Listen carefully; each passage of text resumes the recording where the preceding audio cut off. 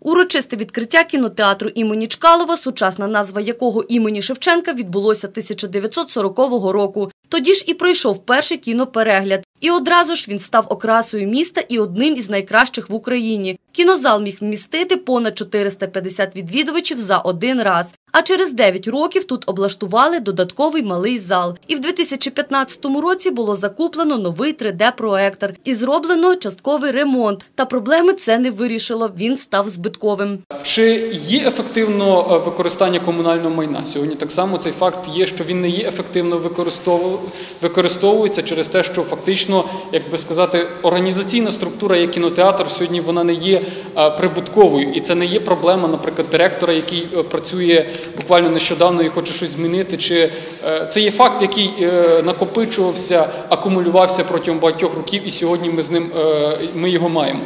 Сучасному стані окраса міста виглядає без перебільшення жалюгідно. Частина приміщень взагалі не використовується, а частина здається в оренду. Та зараз міська влада готова відмовитися від теперішніх орендарів, які розташувалися на першому поверсі будівлі. Все буде залежати від їхньої гнучкості до нової концепції, розповідає заступник Хмельницького міського голови. Якщо вони вписуються в загальне бачення, то вони залишаються. Ми їм дозволимо надалі перебувати. Якщо вони не вписуються, ми, як міськвиконком, так само будемо йти на те, щоб е, попросити їх е, говорити, що в нас є сформована концепція.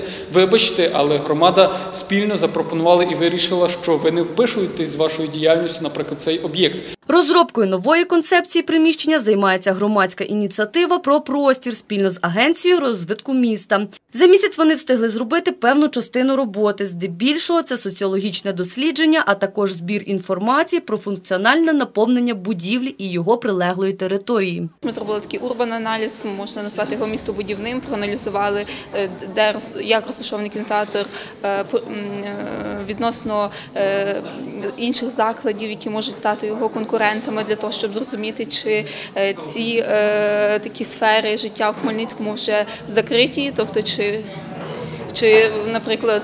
Є вже достатньо закладів, які відповідають на попит, на вимогу користувачів. Можливо, вони не потрібні тут чи навпаки. Ми намагалися просто так зрозуміти ситуацію. Також було проведено урбаністичне дослідження. Воно показало, скільки кінотеатрів конкурентів в місті, кількість навчальних закладів, кав'ярень, коворкінгів, гуртків. вивчали саме простір довкола кінотеатра, тобто, щоб було якесь самообґрунтування, що саме ми хочемо там бачити. Та потім ми вивчали певний, робили такий портрет е, хмельничанина, скільки яка кількість студентів є, яка кількість є молодих людей. Розроблялися опитування, яке зараз запущено у Фейс- мережі Фейсбук. Вже днями будуть опубліковані результати громадських обговорень. Одним із варіантів можливих змін створити розважальний центр з концертною залою.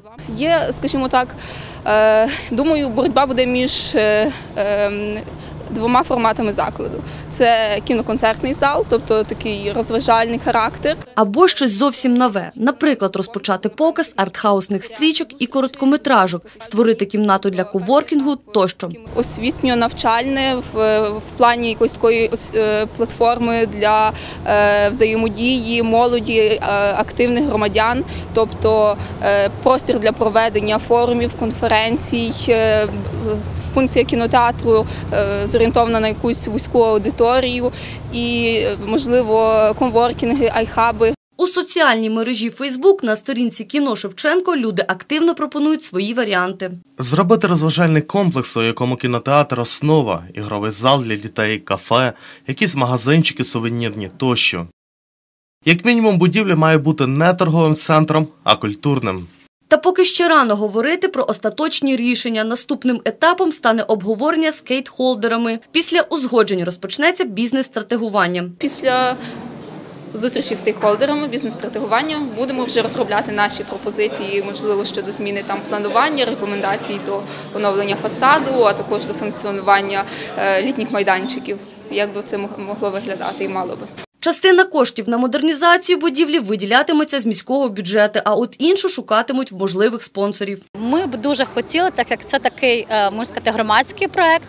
е, Ми будемо е, докладати максимум зусиль, щоб подавати цей проект також і на грантові кошти. Можливо, шукати співфінансування саме різних організацій світових та і можливо такі спонсорські кошти. Це було б оптимальним варіантом. Оксана Медведєва, Юрій Сова, підсумки тижня, телеканал ТВ 7+.